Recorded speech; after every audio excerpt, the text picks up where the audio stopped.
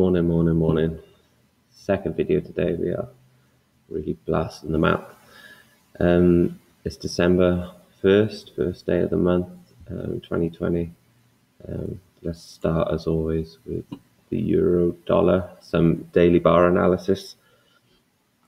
Um, quite an interesting day yesterday.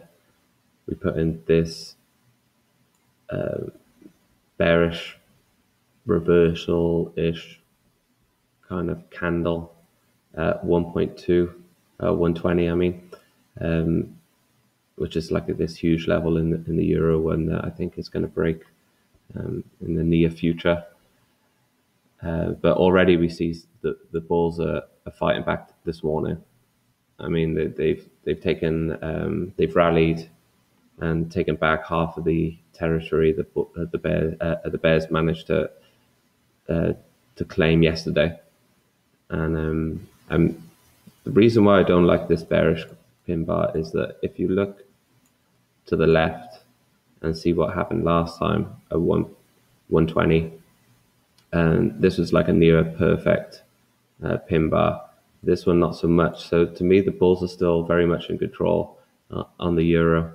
And um, and if we can claim, uh, if the bulls can claim 1.2 and close above it, then I think we'll see a, um, a pop higher, um, maybe to uh, 121.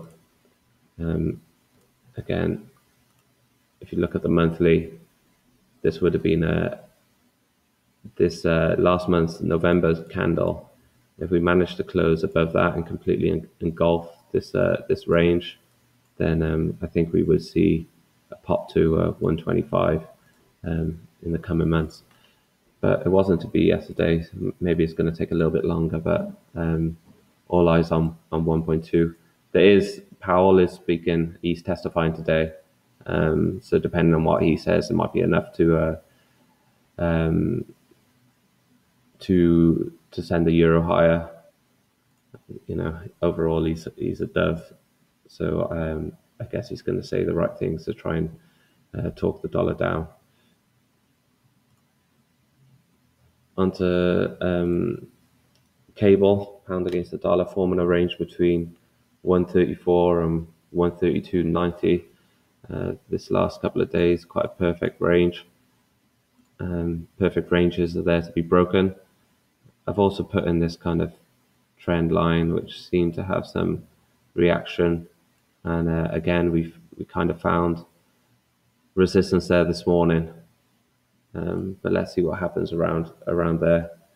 Um, this range has kind of been tested a few times now, so the more times uh, that the ball's knock on the door, it's going to make the bears a little bit weaker. Um, and a close above this area will bring in September the 1st um, high into play 134.83. Um, and then a close above there, there's a, there's a lot of fresh air. So um, expect this dollar weakness to continue and these pairs to break out soon, but I imagine that everybody is is thinking the same as me. So when that happens, usually the opposite works. um, one thing to keep an eye out is for false breakouts when the range is this kind of uh, this type. Um, so any pop below, any close back inside the range, usually leads to a breakout the other side, um, and the same uh, vice versa. So any close below back inside this range, we could see a move down. Um, although I've been saying I'm bullish, I mean if the if the pound did close below uh, 133, then there's plenty of room to, to come and test this uh, this trend line that um, I got marked up. You know, so can't say it won't happen. Nobody knows um, dollar against the yen. Uh, and kind of nice two bar reversal here um, for this pair that happened yesterday on big round number 104. Uh, you know how um, how important these big round numbers are on this pair. So uh, it was it was nice to see a kind of a break below that and a close exactly on it Um, that sorry, a close um, 30 pips away from uh, the big round number at the end. It's kind of like a little small false breakout um, around there. So I expect that we're going to move toward move higher towards this uh, this trend line. Uh, but like I've said in the past, I'm I'm kind of neutral on this pair until we we get out of this uh, this wedge pattern here. So just keep an eye on the big round numbers on this on these pairs. GJ. Um, the higher lows are still intact in this pair. As you can see, we put in a series of higher lows now. Um, and the kind of form in this uh, wedge here, where the resistance is uh, this big round number 140.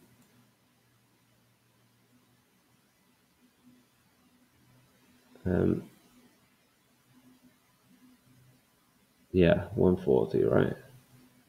Um, the supports is uh, one, well, what's this low here? Let me see. 13834. Um, and then also 138, big round numbers. If we can close below this, um, maybe 138, then um, I should expect this trend line I've got marked up to be uh, to be tested um, soon. But depending on what happens uh, outside of this wedge, again, look for any false breakouts. This high, um, although it's above 140, is, is going to be important. So we might break this resistance, uh, test that level, and then uh, sell off uh, and break this uh, this trend line or we might um, just break out through both levels and uh, and continue on to the sep- September the first high of 142 um, 71. So all depends what happens as well with the, the dollar yen and, and cable. Um, if we see dollar weakness, then that means that uh, GY just kind of get pulls apart and um, in both directions and, and, and could get quite choppy. So um, wait and see on this market as well. Euro against the yen, uh, big reaction to uh, 125 yesterday, and this huge level now, which is put in a quadruple top. Um, although this is a nice pin bar, it's the same kind of deal with the euro that um, the you after this kind of perfect pin bar, you would expect the, some bears to, to, to continue selling and um, and try and reach 123, you know, 200 pip um, play. But the Bulls have claimed back over half the territory already, and um, and I think a close above this is going to be going to be some stops. So we could see a move to um, 127 um, area should we should we close above 125 um, which I think is quite possible this week. Also, I've been talking about this head and shoulders, uh, inverse head and shoulders area. So uh, 125 is also the neckline for that. So quite interesting to see uh, what happens with this pair. Um, Aussie dollar, some reaction at 74 yesterday, similar to um, the euro. Uh, euro USD is not the bear, not the most bearish looking um, pattern I've seen, although it did completely eclipse Friday's candle. Um, volumes are, are, pretty low at the moment, so uh, let's see what happens. But we're knocking on this uh, this 71 level here, and um, and following this this uh this huge uptrend of the, of the year after selling off 1500 pips, I believe. Um, in the first quarter, we've now uh, rallied um, 1900 uh, pips in the in the Aussie dollar. So um, depending on where we close this month, if we close near the highs or even above this level, then it's going to be a big yearly pin bar for uh, for this pair, which I've I've, uh, I've mentioned on Twitter, and um, I think a close above here, uh, we could see this shoot higher and this um, this trend continue and this uh, this dollar weakness. If we get any kind of continuation in dollar weakness, and all these pairs are kind of set up to um, to really break out. Same with the uh, with the dollar CAD. Um, yesterday we had a, a, fight back of this important level, um, this kind of line in the sand that the bulls and bears is kind of like Helmand province. They uh, they really want to want to keep this line, but they're knocking on. Uh, the bears are knocking on the door again of uh, of one two nine fifty, which I think are, are close below that. Again, more dollar weakness uh, is set up for a for a big break um, lower. If I show you on the uh, the monthly chart, I'm sure you've seen it if you follow us on Twitter and stuff. that we've been talking about this 129. You can see we briefly uh, got below it yesterday, and but closed above on the monthly. So um, anything, any close below that, and I expect a run down to 120 area for the uh, for um, dollar CAD. Euro Aussie. And this is a monthly. it's just uh, it stayed on monthly because I was on CAD, but I'm not sure if this is kind of like the biggest head and shoulders forming or what. Um, if you flick onto the daily, you can see why I'm not really interested in this pair. It's, it's really sideways at the moment. So, um, uh, I mean, this was amazing to trade in uh, in the earlier part of the year, um, but this stuff is uh, is is pretty difficult. So, I'm not going to spend too long dwelling on uh, on the euro Aussie dollar. Gold, in fact, has been all right. Um, following this break and these two inside bars, we see a continuation of the sell up, sell off. Um, the bulls have stepped in uh, at 1765, which was this high back in May. Um, I was expecting them to to wait for this 1750 area, which was resistance a few times, and then um, act as a support here. But we didn't get that far, and um, already the Bulls have managed to claim um, uh, 25, 30 points in gold. 1800 is going to be the next level, the next line in the sand. Uh, as you can see, it briefly acted as a support before breaking through, and then um, and then became resistance on the way down. So expect maybe a range around 1800 uh, before gold deciding uh, whether it's going to retest this, the breakout area or continue lower. Uh, might as well talk about the FTSE. Um, after this uh, positive uh, rally in the FTSE following the, um, the positive vaccine news.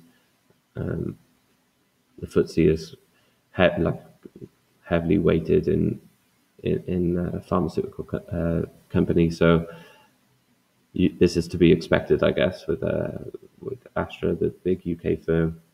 Um, hopefully, having a vaccine ready, um, and it sounds pretty pretty good. Uh, keep an eye on this level. It formed this tight range. Um, after that, which is consolidation after this up move. Um, this could be a false breakout here. Uh, like I said, um, with false breaks, if it closes back inside the range, and usually it leads to a breakout higher, and that would um, that would make sense because it's just following the trend. So yeah, a, a move upwards, um, I think, is on the cards here and uh, and possibly a break of uh, six thousand five hundred and five, which was this high back in June. Um, yeah, so keep your eye on FTSE, see where the close today is really important. Let's see if it closes back inside this range. But anyway, that's the analysis. Hope it was uh, beneficial to you. Um, good luck with your trading. If you haven't subscribed to our YouTube, please do. Um, I think I think um, we talk a lot about price action and, and system act trading. So, uh, so if you like what we, we say, um, or maybe you, uh, you think we can improve somehow, just uh, just let us know. Thanks, guys. See ya. Good luck.